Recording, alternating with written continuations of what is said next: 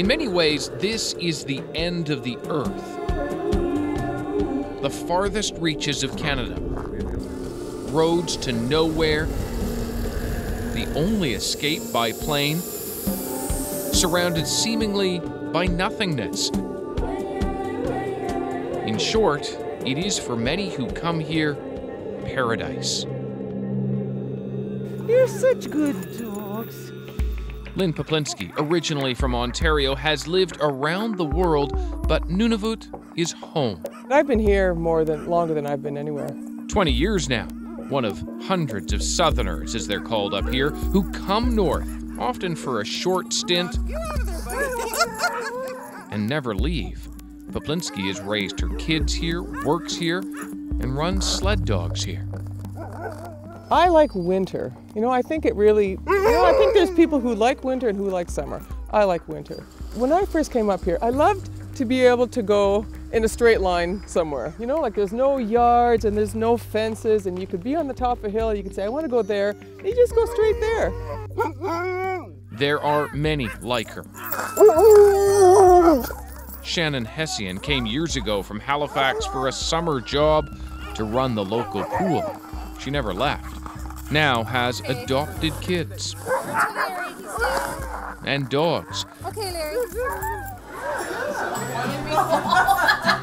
And every Sunday, the Southerners who stayed connect over supper.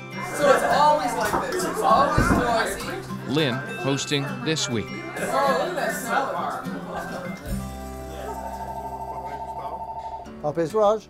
On the other side of town, only about five minutes away, Michel Gibert is busy running one of the busiest auto garages in Iqaluit.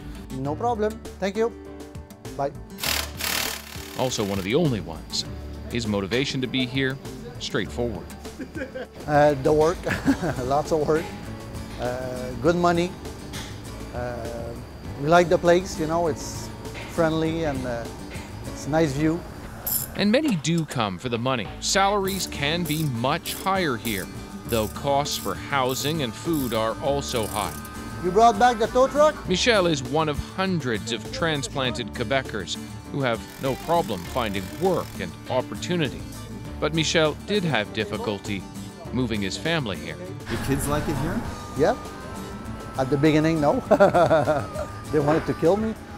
But after a year, it was okay.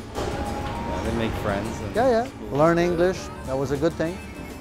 In Quebec, they didn't speak very much uh, English. Up here, they had no choice. The greatest draw is outdoors. It's dry here, so not much snow over the winter, but powerful winds and deeply frigid temperatures. Why stay? This. Yeah. If it was easy, everybody would be here.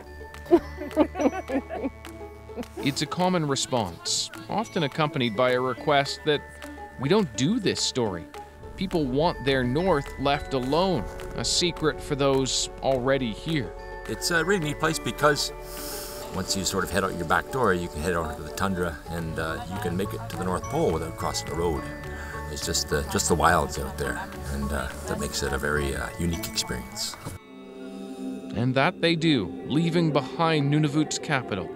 It doesn't take long.